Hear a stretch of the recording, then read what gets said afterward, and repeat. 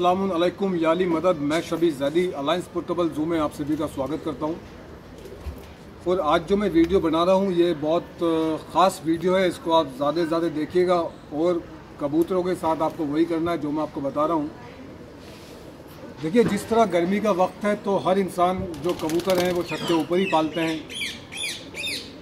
तो मैं आपसे कहना चाहता हूँ, जो छत पे कबूतर पालते हैं और मोस्टली छत पे ही कबूतर पलते हैं तो वहाँ पे पूरे दिन कड़ी धूप पड़ती है, जिसकी वजह से कबूतर हमारा गर्मी में मान जाता है, गर्मी मानता है कबूतर, अपनी चोंच खोल के रखता है। और जब कबूतर गर्मी मानेगा तो पानी ज़्यादा पिएगा और दाना जो है वो कम खाएगा। तो मैं आपको बताना चाहता हूँ, इन चीज़ों से आपको बचने के लिए आप अपने कबूतर की केयर किस तरह करें। आप अपने कबूतर के जाल में बाहर की साइड आप क्रॉस वेंटिलेशन में फ़ैन लगाइए पंखा। जिससे पंखा चले और सारी गर्म हवा बाहर निकालता रहे। उससे क्या होगा, जो कबूतर टम्परेचर है वो मेंटेन रहेगा। कबूतर जाल के अंदर हाँपेगा नहीं। कबूतर जाल में हाँपेगा नहीं तो तंदुरुस्त रहेगा फ़ीड भी अच्छी खाएगा और पानी भी अच्छा पिएगा। अगर आप कबूतर को सिर्फ़ धूप में जिस तरह कबूतर रहता है, जाल के अंदर तो कबूतर हाँप जाता है। तो फ़ीड कम खाता है, जिसकी वजह से पानी ज़्यादा पीता है। जब पानी ज़्यादा पीता है तो बॉडी की एनर्जी जो है वो ख़त्म हो जाती है और कबूतर बीमारी की तरफ़ हमारा जाने लगता है। तो उस चीज़ से बचने के लिए मैं आपको दिखाता हूँ कि हमने अपने कबूतरों के लिए क्या कर रखा है। क्रॉस वेंटिलेशन में फ़ैन लगा हुआ है, जब गर्मी ज़्यादा बढ़ेगी और जब लू चलेगी तो हमें यहाँ पे हम कूलर लगाएँगे बाकायदा कूलर के, अपने पीजन्स के लिए कूलर है। और कितनी बार हमें कबूतरों के लिए गर्मी के अंदर मॉइस्चर भी पैदा करना पड़ता है। अगर मॉइस्चर नहीं है, नमी नहीं है पानी की, धूप के अंदर तो कबूतर हमारा बीमार होने के चांस ज़्यादा हैं। तो हम क्या करते हैं, कितनी बार स्प्रे करते हैं पानी का और फ़ैन चला देते हैं, उससे ठंडा पानी रहता है और कबूतरों में एकदम मॉइस्चर बना रहता है। कबूतर एकदम फ़र्स्ट क्लास रहता है फिटिंग फाइन रहता है। तो चलिए, आपको दिखाते हैं कि कबूतर में जो हमने फ़ैन लगा रखा है क्रॉस वेंटिलेशन में किस तरह लगना चाहिए, क्या होना चाहिए। चलिए।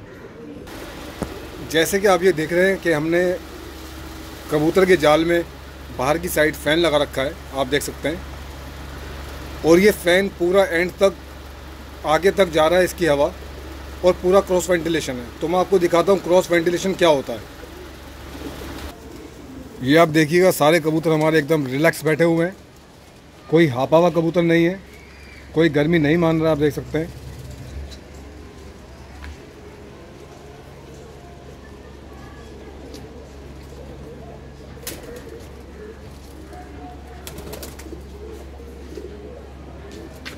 ये देखिएगा। जाल के लास्ट में जो है हमने क्रॉस वेंटिलेशन का रखा है, आप देख सकते हैं। वहाँ से भी खुला हुआ है, यहाँ से भी खुला हुआ है। जो हवा वहाँ से आ रही है, वो पूरी इस साइड से पार हो रही है। इससे क्या होता है, अंदर जो है गर्मी कबूतरों में जाल में नहीं बनी रहती और कबूतर हमारा एकदम घुटकता हुआ, बिल्कुल एकदम रिलैक्स फील करता है और गर्मी महसूस नहीं करता।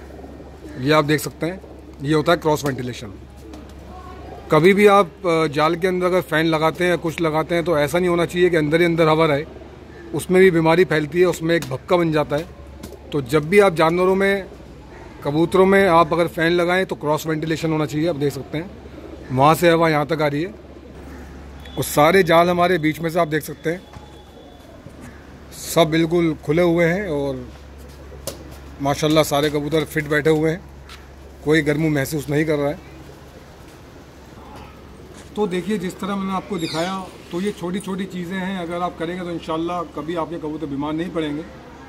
और एकदम आपको किसी भी वक्त आप कबूतर देखें, आगे एकदम आपको घुटकता हुआ घूसता हुआ कबूतर दिखाई देगा।